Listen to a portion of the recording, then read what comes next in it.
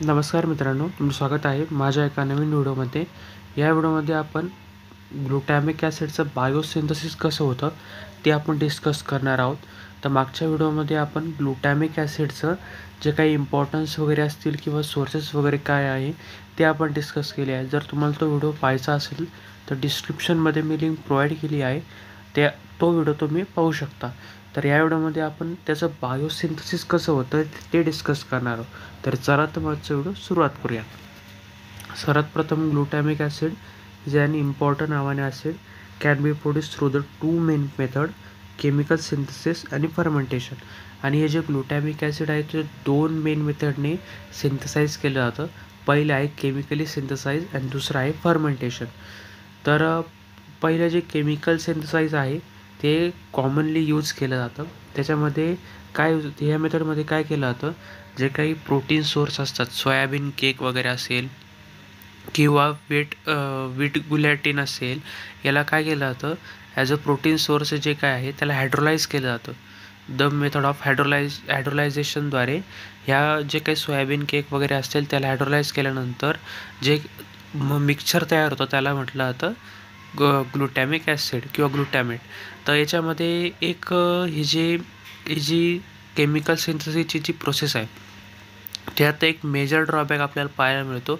त्याच्यामध्ये racemic mixer आपल्याला पाहायला मिळतं. म्हणजे दोन प्रकारचे मिक्सर आपल्याला पाहायला मिळतात. पहिलं आहे यल ग्लुटॅमिक ॲसिड आणि दुसरं आहे डी ग्लुटॅमिक ॲसिड आणि पुढे जाऊन परत ह्या यल ग्लुटॅमिक ॲसिड आणि डी ग्लुटॅमिक ॲसिडला सेपरेट आऊट करण्यासाठी वेगवेगळ्या डिफिकल सेपरेटिंग प्रोसेस वापर वापरल्या जातात. आणि ही जी मेथड आहे ती थोडी एक्सपेन्सिव्ह मानली जाते. दॅन दी फर्मेंटेशन प्रोसेस आणि फर्मेंटेशन प्रोसेसमध्ये काय केलं तर बायोलॉजिकली ही मेथड यूज केला. तर म्हणजे मायक्रोऑरिझमचा यूज करून स्पेसिफिक सर्टन जे काही सेंथसाईज करणारे जे ग्लुटॅमिक ॲसिड सेंथसाईज करणारे जे मायक्रोऑरिझम आहे त्यांचं यूज करून फर्मेंटेशन प्रोसेसद्वारे याच्यामध्ये जे काही यल ग्लुटॅमिक ॲसिड आहे त्याचं प्रोडक्शन हे किंवा इल्डिंग वगैरे ही केली जाते. आणि ही स्पेसिफिक आणि सर्टन जे काही मायक्रोऑरिझमचा यूज करून ही जी काही मेथड यूज केली जाते ती स्पेसिफिक बॅक्टेरियाच त्याच्यात काम करू शकतात जे की ग्लुटॅमिक ॲसिडचं सिंथसाईज करेल. आणि ही सिग्निफिकंट मेथड आहे. दॅन दी केमिकल सिंथसाईज आणि याच्यामध्ये सगळ्यात जास्त यल ग्लुटॅमिक ॲसिडचं जे काही प्रोडक्शन वगैरे काय ते काय घेतलं जातं. तर मग एक स्पेसिफिक पातवी कसा घडतो? म्हणजे आपल्या बॉडीमध्ये जे काही ग्लुटॅमिक ॲसिड किंवा ग्लुटॅमेटचं प्रोडक्शन कसं होतं ते आता आपण पाहूया तर सर्वात प्रथम जे काही अल्फा क्युटोग्लुटॅरेट जे काही फॉर्मेशन होतं आहे ट्राय सायट्रिक ॲसिडमध्ये. म्हणजे सायट्रिक ॲसिडची काही सायकल आहे आपली टी सी ए सायकल. त्याच्यामध्ये जे काही अल्फा किटोग्लुटारेट हे काय जो काही इंटरमिडिएट मॉलिक्यूल आहे त्याच्यापासून ही प्रोसेस चालू होते. तर मग याच्यामध्ये टी सी ए सायकलमधला जो अल्फा किटोग्लुटारेट आहे तोच यूज केला जातो ग्लुटॅमेटसाठी त्याचं प्रोडक्शन करण्यासाठी किंवा सिन्साईज करण्यासाठी. तर मग दुसरी प्रोसेस काय होती?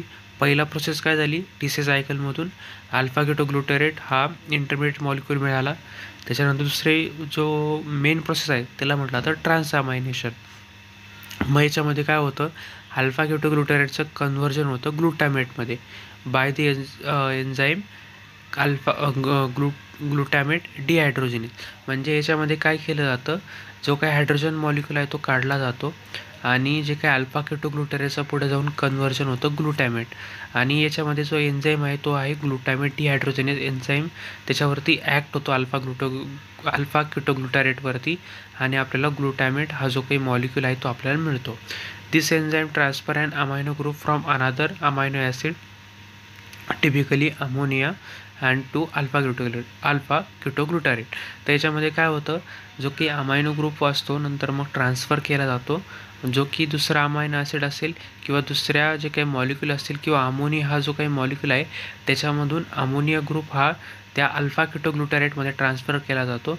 आणि त्याच्यानंतर मग आपलं जे काही ग्लुटॅमेटचं कन्व्हर्जन होतं आणि ग्लुटॅमेट डिहायड्रोजन त्याच्यावरती ॲक्ट होतो आणि ग्लुटॅमेटचं तिथं प्रोडक्शन होतं. आणि नंतर मग ग्लुटॅमिक ॲसिड हे वेगवेगळ्या जे काही न्यूरोट्रान्समिटर असतील किंवा एन्झाईम प्रोडक्शनमध्ये किंवा प्रोटीन सिन्साईजमध्ये कामात येतं.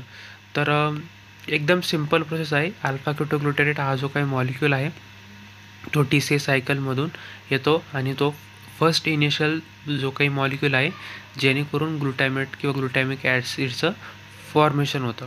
त्यानंतर मग अल्फा क्युटोग्लुटेरेट काय होतं? कन्वर्ट होतं ग्लुटॅमेटमध्ये आणि with the help of glutamate dehydrogenase एकदम सिंपल प्रोसेस आहे.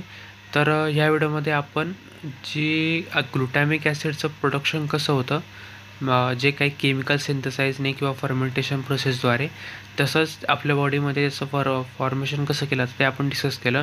जर तुम्हाला माझा हा व्हिडिओ इन्फॉर्मेटिव्ह वाटला असेल तर नक्की या व्हिडिओला लाईक करा शेअर करा आणि सबस्क्राईब करायला विसरू नका. चला भेटूया पुढच्या व्हिडिओमध्ये